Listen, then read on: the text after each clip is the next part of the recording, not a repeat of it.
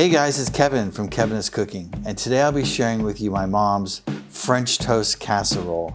First had this years ago, went on a vacation weekend up to a family's ranch. She made it for everybody. You're gonna start off with brown sugar, butter, cinnamon. You're gonna slice some Granny Smith apples, some cranberries, mix that all up, put it on the bottom of a, a buttered casserole dish. Then you're gonna chop up a French bread loaf, put that on top, eggs, milk, vanilla, a little more cinnamon, pour that on top, cover it, pop it in the fridge and let it sit overnight. That way everything gets all custardy, it's incredible. Next day, pop it out, bake it, and it serves a crowd. Let me show you how to do it.